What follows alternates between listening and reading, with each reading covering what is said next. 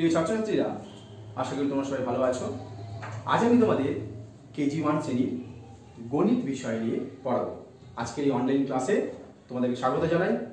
তোমরা আজকে KG one শ্রেণির গণিত বিষয়টা জানবে। আজকে আমার আলোচ্য পাঠ হলো কথায় লেখো এবং ছবি গুণে সংখ্যা লেখো। দুটি আইটেম আজকে আমি তোমাদের শেখাবো। প্রথম যে আইটেমটি আছে, সেটি হলো কথায় লেখো। দেখতে পাচ্ছ? এই আইটেমটি আজকে প্রথম আমরা শিখব। কথায় লেখো, বিষয়টা কি সেটাকে জানতে হবে। কথায় লেখো বলতে, অর্থাৎ তোমাদের সংখ্যা দেওয়া থাকবে, সেই সংখ্যাগুলোর বানান তোমাদের লিখতে হবে। অর্থাৎ এক লেখা দেওয়া থাকল, দুই সংখ্যা দেওয়া থাকল, তিন সংখ্যা দেওয়া থাকল, তখন সেই সংখ্যাগুলোর তোমাদেরকে বানান লিখতে হবে। আজকে আমরা কথায় লেখো যেটা শিখব, সেটা হলো এক থেকে দশ অব্দি বানান। বুঝেছ সবাই? এবার সবাই খাতা, পেন্সিল, রাবার বের করো। আজ আমরা এক থেকে দশ অব্দি বানান শিখব। সবাই বের করেছ? চলো। এবার সবাই একটু বোর্ডের দিকে লক্ষ্য করো। দেখো প্রথমে আমি সংখ্যা দিয়েছি। দেখো, দেখতে পাচ্ছ এটা? কি লেখা আছে বলো তো? এক। এই এক সংখ্যাটা আমার দেওয়া আছে। এই সংখ্যার বানানটা কি দেখো? খেয়াল করো, সবাই লক্ষ্য করো। দেখো, লেখা আছে এ ক, এক। কি লেখা আছে? এ ক, এক। তাহলে এক বানানটা কি হলো? এ এক। এরপরে আসছি দুই। নিশ্চয়ই তোমরা চেনো এটা দুই সংখ্যা? দুই সংখ্যার বানানটা খেয়াল রাখো। দুই যে বানান, সংখ্যার যে বানানটা, সেটা হলো দয়স্যু হস্যই। দুই। সবাই লিখেছো? দয়স্যুকার হস্যই। দুই। এরপর দেখো তিন। সবাই খাতায় লিখেছো তিন? তিন যে সংখ্যাটি, এর বানানটা দেখো, পাশে লেখা আছে তয়বস্যিকার দন্তেন্য। তিন। তয়বস্যিকার দন্তেন্য। তিন। চার। চার সংখ্যাটা সবাই লিখেছো? চার বানান দেখো। চয়াকার র, চার। কি লিখলাম? চয়াকার র, চার। সবাই লিখেছো তো? বেশ। এরপর দেখো লেখা আছে পাঁচ। পাঁচ যে সংখ্যাটি, তার বানানটাই লক্ষ্য করো। সবাই মন দিয়ে লক্ষ্য করো। পয় চন্দ্রবিন্দু আকার চ। পাঁচ। কি বললাম? পয় চন্দ্রবিন্দু, আকার চ, পাঁচ। সবাই লিখেছো? এবার আমরা এই এক থেকে পাঁচ অব্দি বানানটা আমি পুনরায় পড়ছি। তোমরা সবাই খাতায় সুন্দর করে লিখেছো যেটা সেটা মিলিয়ে নাও। ঠিক লিখেছো কিনা সেটা মিলিয়ে নাও। দেখো আমি আবার বলছি, এক, এ, ক, এক। দুই দয়হস্যকার হস্যই। দুই, তিন তয়হস্যিকার দন্তেন্য তিন, চার চয়াকার র, চার। পাঁচ।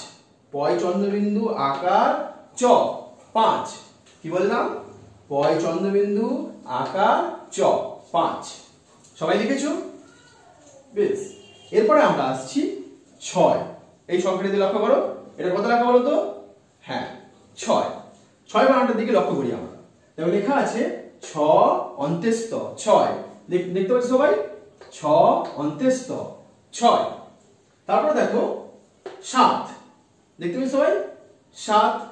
সাত বানানটার দিকে লক্ষ্য করো সবাই। দন্তেশ্বয় আকার ত, সাত। খাতায় লেখো দন্তেশ্বয় আকার ত, সাত। আট। আ, ট, আট। কি বললাম আ ট আট নয় সবাই লিখেছো নয় হ্যাঁ নয় নয় বানানটা দেখো দন্তেন্ন অন্ত্যস্ত নয়। কি বললাম? দন্তের ন অন্ত্যস্ত নয়। দশ।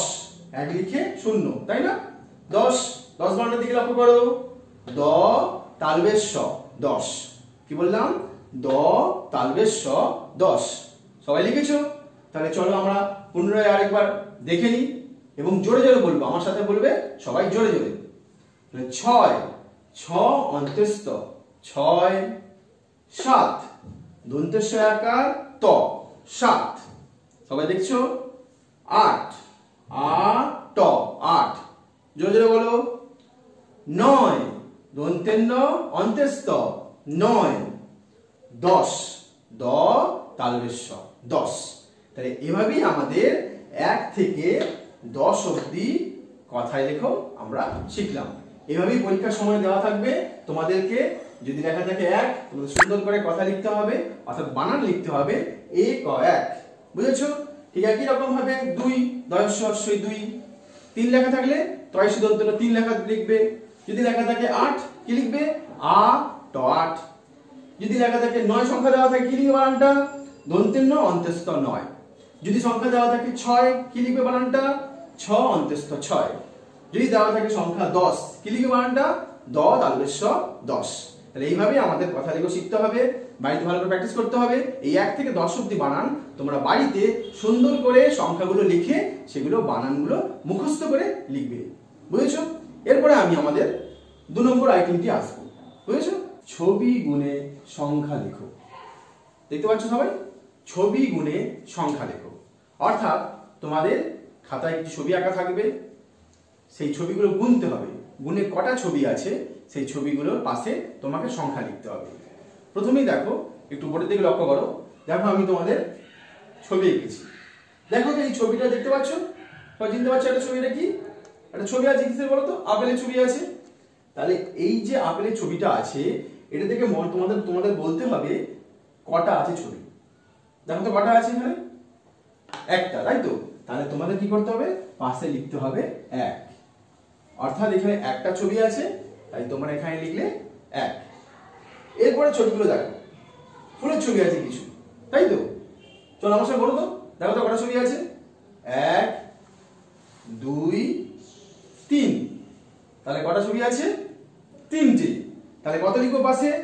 হ্যাঁ সবাই ঠিক বলেছ, তিন। তিন লিখলাম। এরপরে দেখো, অনেকগুলো গাছের ছবি আছে। তাহলে চলো সবাই আমরা একসাথে জোরে জোরে গুনে দেখি। কটা ছবি আছে? সেই অনুযায়ী আমরা সংখ্যা লিখব। আমার সাথে বলো। এক, দুই, তিন, চার, পাঁচ, ছয়। তাহলে কটা ছবি আছে? ছটা। তাহলে সংখ্যা কথা লিখব আমরা? ছয়। তাহলে এখানে আমরা লিখলাম ছয়। সবাই লিখেছো তো? এরপর দেখো, শেষে কয়েকটা আমের ছবি দেওয়া আছে। চলো গুনি আমার সাথে সবাই কোনো এক, দুই তিন, চার। তাহলে কটা ছবি দেওয়া আছে আমের? চারটি। তাহলে এখানে কত লিখব আমরা? চার। সবাই লিখেছো? এইভাবেই কিন্তু আমাদের ছবি গুণে সংখ্যা লিখতে হবে। পরীক্ষায় তোমাদের এরকম ছবি আঁকা থাকবে, বিভিন্ন রকমের ছবি আঁকা থাকবে। তোমাদের সেই ছবিগুলো গুনতে হবে, গুনে যে সংখ্যাটা হবে, সেই সংখ্যাটা পাশে লিখতে হবে। এখানে যেমন প্রথমে একটা ছবি দেওয়া ছিল আপেলের, তাই এখানে এক লিখেছি।